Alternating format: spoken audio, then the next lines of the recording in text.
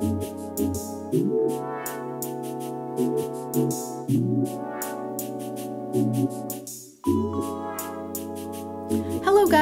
welcome back to my channel. If you are an avid viewer of the hair growth community here on YouTube, I'm sure that you've heard of rice water. So rice water is supposed to be the number one best hair growth treatment. And today I'm gonna be spilling all the tea on rice water. I'm gonna be telling you the only way that you should be making rice water and the only way that you should be using rice water. Before we get into this video, if you guys like these types of hair growth and hair care videos, make sure you subscribe to my channel as well as turn on bell notifications so you can be notified when I post future hair videos. So first, I need to give credit where credit is due. This video was inspired by the Yao women of the village Huangluo in China. Their hair is incredibly long. It's super healthy, super shiny, and yes, you guessed it, they rinse and wash their hair with fermented rice water. Okay, so I'm just gonna jump right into the recipe because I know that that's why you guys are all here. So you're first gonna wanna take between half a cup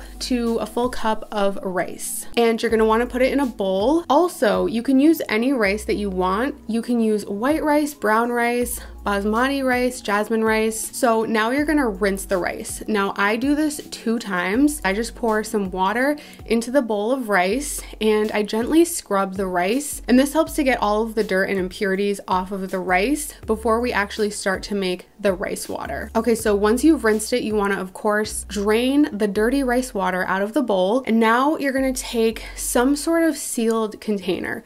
So I like to use mason jars, but if you don't happen to have mason jars at home, you can use like a Tupperware container of some sort as long as the cover is sealed tightly, it's totally fine. So now I start by carefully transferring the rice from the bowl into the mason jar. So as you guys can see, at first I'm using a spoon. So if you have a funnel, that would make this process a lot easier, but it's totally not necessary. So then you wanna fill up the jar with water. So I usually fill the jar up three fourths of the way with water.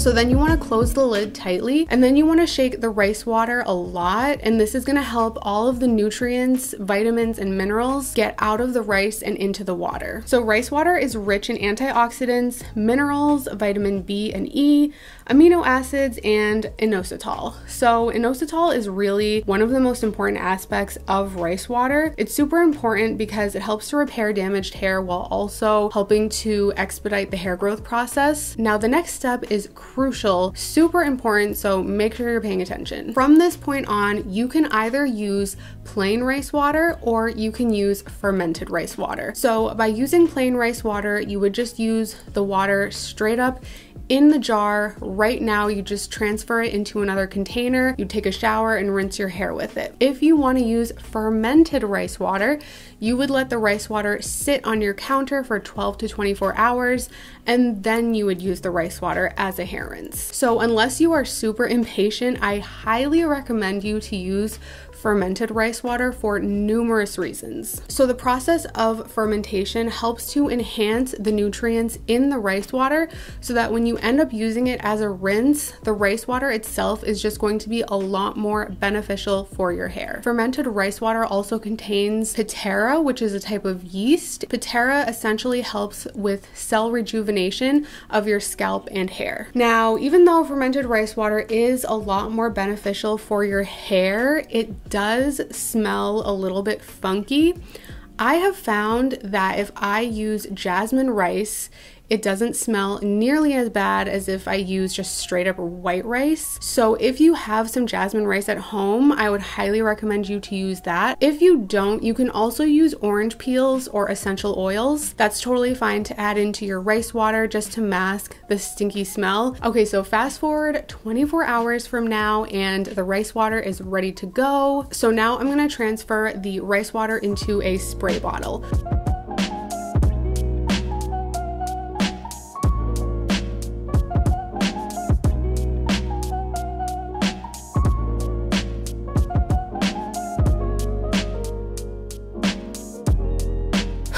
Gosh, I'm getting really out of breath here. Okay, so now for how to actually use the rice water rinse.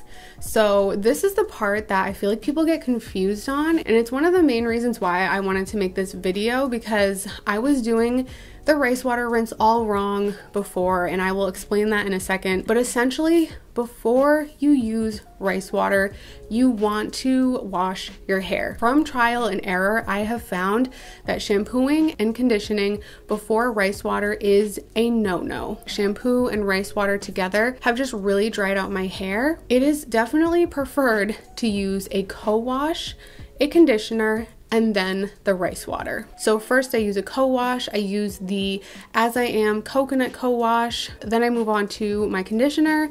I use the Not Your Mother's Naturals conditioner, let that sit in my hair for five minutes, rinse it out, and now I'm good to go for the rice water rinse. So for the rinse, first I start by sectioning my hair. So I go section by section and first I focus on the roots of my hair. So I take my spray bottle, I spray the roots, and then I move on to the hair shaft and I spray that. And then I massage my scalp to ensure that all of the rice water is getting absorbed by my hair follicle, my scalp, and my hair itself. Also, massaging your scalp like that helps to increase circulation, which is also to help your hair to grow faster. So I then repeat this all throughout my hair until I've covered every single strand of hair.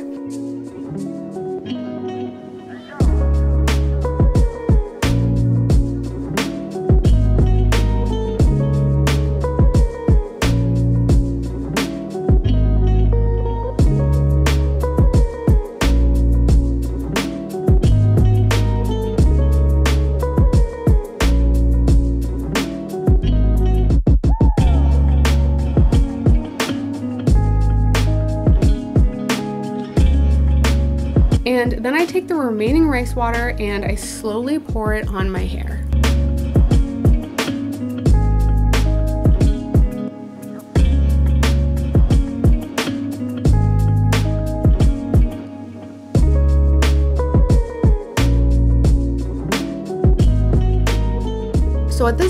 Question is, do you leave it in your hair or do you wash it out? What I found that works for me is somewhere in the middle. So I basically leave it in my hair for 15 minutes after I have rinsed it all through my hair. Just leaving it in my hair straight up, not rinsing it out at all until my next wash actually is too much for my hair. Please don't underestimate the power of rice water. It is extremely intense. I mean, how do you think the Yao women have gotten their hair that long? So once 15 minutes is up, then I gently and quickly rinse the rice water out. So I do this so that I don't fully rinse it out, but just enough so that it doesn't irritate my hair, if that makes sense.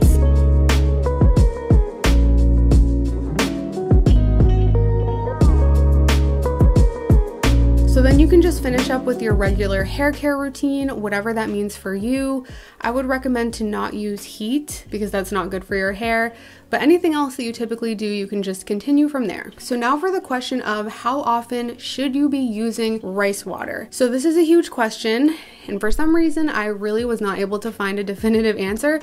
So I wanna give you guys watching this video my straight up response. I use rice water every two to three weeks. And I know some of you guys watching this may think, wow, that's nothing.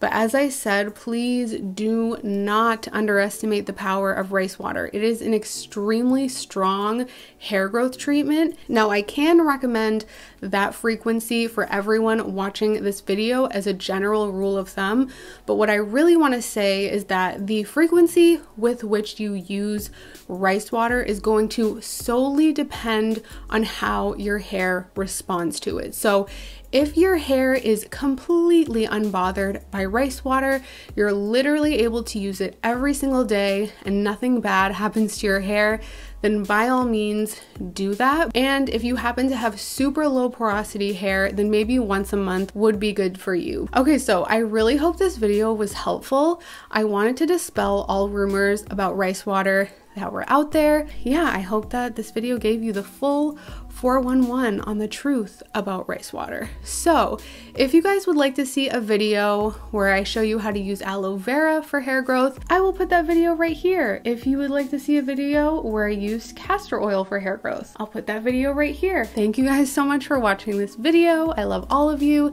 and I will talk to you guys next time.